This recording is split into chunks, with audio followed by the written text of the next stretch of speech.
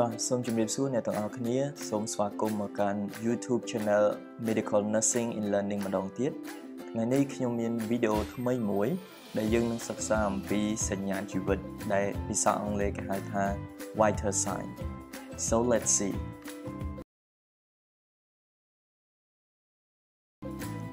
Okay so let's start with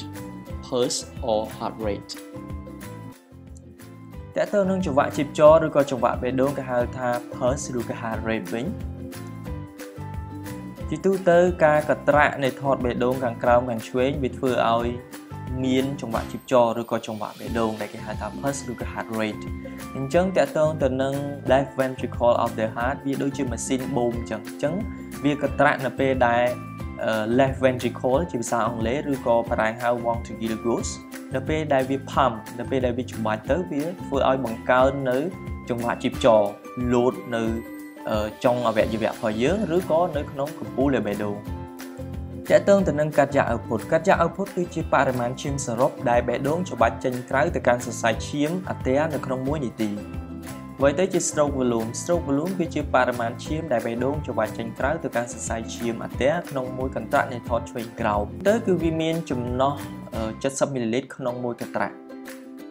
តើតើទៅនឹងកាត់យ៉ា output កាត់យ៉ា output ជាទូទៅវាស្មើនឹង heart rate ចំនួនកន្ត្រាក់ក្នុង1នាទីគុណឲ្យ stroke volume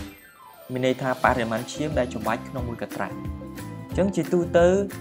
heart rate របស់យើង គឺវាចន្លោះពី60ទៅ100ដែលជាមធ្យមគឺ80ហើយ stroke volume គឺជាមធ្យមវា70 ml ក្នុង1 beat ក្នុងមួយកន្ត្រាក់អញ្ចឹងយើងអាចសន្និដ្ឋានថាក្នុងកាត់យ៉ា output គឺវាស្មើនឹងការកន្ត្រាក់80ដងក្នុង1នាទីគុណឲ្យ70មីលីលីត្រក្នុង1កន្ត្រាក់យើងឃើញថា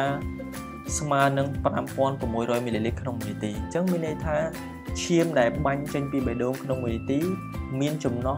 5600មីលីលីត្រឬក៏ស្មើនឹង5.6លីត្រក្នុង1នាទីមួយទៀត peripheral pulse peripheral pulse គឺជាចង្វាក់ជីពចរដែលស្ថិតនៅឆ្ងាយពីបេះដូងជាទូទៅ peripheral pulse គឺវាមាននៅតំបន់ carotid គឺតំបន់កនេះវាមាន brachial នៅកលៈដៃវាមាន radial នៅកដៃវាមាន femoral នៅកលៀនហើយមាន popliteal ឬក៏ poplite ហើយកលៈជង្គង់របស់យើងហើយវាមាន posterior tibia ដែលវានៅជុំក្នុងភ្នែកគោជើងរបស់យើងហើយមួយទៀតគឺវានៅ dorsalis pubis គឺវានៅលើខ្នងជើងរបស់យើងទីឯ apical pulse គឺជាចង្វាក់ជីពចរដែលមានទីតាំងស្ថិតនៅកំពូលនៃបេះដូងជាទូទៅគេហៅថាជាជីពចរកណ្ដាលអញ្ចឹងការយកជីពចរកណ្ដាលឬក៏ apical pulse គឺគេត្រូវប្រើ stethoscope ដើម្បីស្ដាប់ តើតើនឹងទីតាំងនៃការយកជីពចរគឺវាមាន9កន្លែង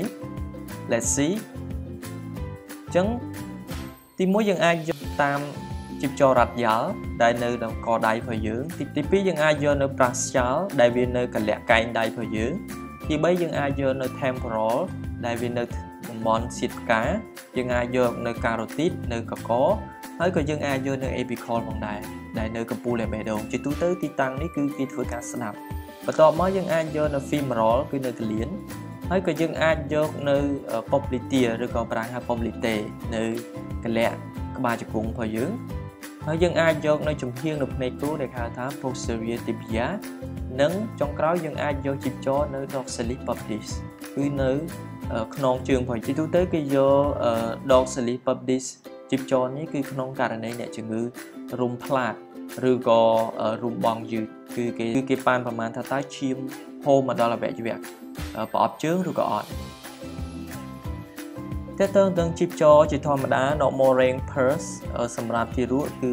130ដងក្នុង1នាទីហើយសម្រាប់កុមារគឺជាមធ្យមគឺ100ដងក្នុង1នាទីហើយសម្រាប់មនុស្សពេញវ័យគឺជាមធ្យមគឺ80ដងក្នុង1នាទី មធ្យោបាយនៃការយកជីបចរគឺមាន2ទី1តាមរយៈការស្ទាបគេហៅ palpation ទី2តាមរយៈការស្ដាប់គេហៅថា auscultation មុននឹងចាប់ដើមយកជីបចរអ្វីដែលយើងត្រូវដឹងទី1ត្រូវប្រកាសថាតើអ្នកជំងឺកំពុងតែប្រើប្រាស់ថ្នាំឬក៏មិនកំពុងប្រើប្រាស់ថ្នាំអញ្ចឹងក្នុងករណីថ្នាំមួយចំនួនវាធ្វើឲ្យប៉ះពាល់ទៅលើចង្វាក់បេះដូងរបស់អ្នកជំងឺ um let for example ដូចជាពពួកថ្នាំលើសសម្ពាធឈាមដូចជាពពួក beta blocker អញ្ចឹងពពួក beta blocker មានថ្នាំដូចជាពពួក metoprolol atenolol អញ្ចឹងថ្នាំអស់ហ្នឹងវាធ្វើឲ្យ decrease heart rate មានន័យថាវាធ្វើឲ្យចង្វាក់បេះដូងហ្នឹងដើរយឺតអញ្ចឹងវាដើរយឺតដោយសារតែថ្នាំហ្នឹងវាទៅបិទការរំញោចរបស់ epinephrine នៅបេះដូងអឺដែលគេហៅថា epinephrine stimulation នៅឯ beta receptor របស់ myocard របស់បេះដូង មួយទៀតមុននឹងចាប់ផ្ដើមយកចង្វាក់ជីបចរត្រូវប្រកាសថាតើអ្នកជំងឺគាត់ពិសាស្រាឬក៏គាត់កំពុងតែជួបបារីឬក៏គាត់ពិសាកាហ្វេមុននឹងគាត់មកអញ្ចឹងបើសិនជាក្នុងករណីគាត់ពិសាស្រាបារីកាហ្វេតើយើងត្រូវធ្វើម៉េចអញ្ចឹងអ្វីដែលល្អគឺយើងអនុញ្ញាតឲ្យអ្នកជំងឺឬក៏ឲ្យគាត់សម្រាកនិងរងចាំរហូតទៅដល់30នាទីបន្ទាប់មកចាំយើងយកចង្វាក់ជីបចររបស់គាត់ មួយទៀតមុននឹងចាប់ផ្ដើមយកចង្វាក់ជីបចរគឺត្រូវប្រកាសថាតើអ្នកជំងឺកំពុងតែធ្វើសកម្មភាពរាងកាយឬក៏អត់មានន័យថាតើគាត់ទៅតែធ្វើលំហាត់ប្រាណឬក៏គាត់ទៅតែដើរពីកន្លែងណាឆ្ងាយអញ្ចឹងអ្វីវិធីសាស្ត្រដែលល្អអញ្ចឹងយើងអនុញ្ញាតឲ្យអ្នកជំងឺសម្រាកនិងរងចាំ10ទៅ15នាទីមុននឹងយកចង្វាក់ជីបចររបស់អ្នកជំងឺមួយទៀតមុននឹងចាប់ដើមយកចង្វាក់ជីបចរគឺត្រូវ ស្គាល់ច្បាស់ពីកម្រិតនៃចង្វាក់ជីបចរជាធម្មតា មានន័យថាយើងជាពេទ្យយើងត្រូវប្រកបនឹងច្បាស់អំពីគេហៅថា baseline data មានន័យថាតើយើងដឹងថាតើអ្នកជំងឺនៅក្នុងស្ថានភាព normal ឬក៏ abnormal នៅពេលដែលយើងយកលទ្ធផលរបស់អ្នកជំងឺដែលយើងបានរាប់ឬក៏បានយកជីវចររបស់អ្នកជំងឺទៅប្រៀបធៀបជាមួយនឹង normal range ជាមួយនឹងតម្លៃធម្មតានៃជីវចរ មួយទៀតមុននឹងចាប់ផ្ដើមយកចង្វាក់ជីវចរយើងត្រូវប្រកាសថាតើយើងដាក់ស្ថានភាពអ្នកជំងឺបានត្រឹមត្រូវឬអត់ជាទូទៅការដាក់ស្ថានភាពអ្នកជំងឺគឺយើងអាចដាក់អ្នកជំងឺក្នុងស្ថានភាពដេកឬក៏ស្ថានភាពពាក់កណ្ដាលអង្គុយដែលគេហៅថា semi fowler ឬក៏យើងអាចដាក់ស្ថានភាពអ្នកជំងឺអង្គុយនៅក្នុងស្ថានភាព sitting position ក្នុងការយកចង្វាក់ជីបចរ មួយទៀតតកតងទៅនឹងការ assess ឬក៏ការប៉ានប្រមាណចង្វាក់ជីបចរអ្វីដែលយើងត្រូវគិតទី1អំពី rate rate ហ្នឹងគឺសំដៅទៅលើកម្រិតឬក៏ចំនួនចង្វាក់បេះដូងក្នុង1នាទីដោយយើងកំណត់ពីភាពយឺតឬក៏លឿននៃចង្វាក់បេះដូង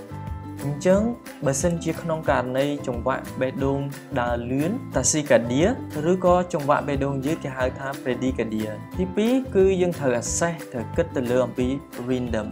rhythm គឺគេគិតអំពីលក្ខណៈរបស់ជីវចរនៅក្នុងបេះដូងនៅពេលដែលច្របាច់ម្ដងម្ដងថាតើវានឹងស្ថិតនៅក្នុង regular rhythm ឬក៏ irregular rhythm មានន័យថាតើចង្វាក់ជីបចរនឹងវាទៀងទាត់វាថេរឬក៏វាលោតម្ដងញាប់ម្ដងយឺតដែលគេហៅថា irregular rhythm ទី3គឺគេគិតអំពី volume volume ហ្នឹងគឺគេ estimate ទៅលើបរិមាណឈាមដែលច្របាច់ចេញពីបេះដូងក្នុង1នាទីអញ្ចឹងគេគិតទៅលើ cardiac output ហើយអាហ្នឹងគឺគេ estimate ពី volume ពីទំហំនៃ volume របស់វាត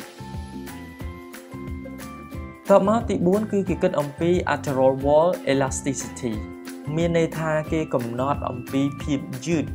ដែលភាពយឺតរបស់អញ្ចាំងរបស់អាទែអញ្ចឹងគេគិតអំពីតើ តើវាស្ថិតនៅក្នុង weak pulse ឬក៏ strong pulse មានន័យថាតើពេលដែលចង្វាក់ជីបចរវាកត្រាក់ម្ដងម្ដងឬក៏វាលូតម្ដងម្ដងតើតើវា weak វាខ្សោយឬក៏វា strong វាបុកខ្លាំងបន្ទាប់មកចំណុចទី5គឺគេ យើងត្រូវគិតអំពី present or absent of bilateral equality មានន័យថាវាស់ចង្វាក់ជីបចរទាំងសងខាងមានន័យថាបើយើងវាស់ដៃយើងវាស់ទាំងសងខាងតើតើចង្វាក់ជីបចរទាំងពីរហ្នឹងវាលោតស្មើគ្នាឬក៏វាមានលោតម្ខាងវាអត់ម្ខាងបន្ទាប់មកចង្វាក់បេះដូងលោតញាប់ដែលគេហៅថា tachycardia គឺជាទូទៅចង្វាក់បេះដូងយើងញាប់ជាង100ដងក្នុង1នាទីហើយសម្រាប់ bradycardia ដែលគេហៅថាចង្វាក់បេះដូងលោតយឺតគឺជាទូទៅចង្វាក់បេះដូងលោតយឺតជាង60ដងក្នុង1នាទីហើយមួយទៀតគឺចង្វាបេះដូងលោតមិនទៀងទាត់ដែលគេហៅថា irregular rhythm វាធ្វើឲ្យគេហៅថា dysrhythmia ឬក៏ arrhythmia dysrhythmia ឬក៏ arrhythmia ហ្នឹងគឺគេចង់និយាយអំពីចង្វាក់ជីបចរមានលក្ខណៈមិនទៀងទាត់មានន័យថាម្ដងលោតញាប់ម្ដងលោតយូរពេលខ្លះលោតញាប់លោតយឺតគឺវាលាយចូលគ្នា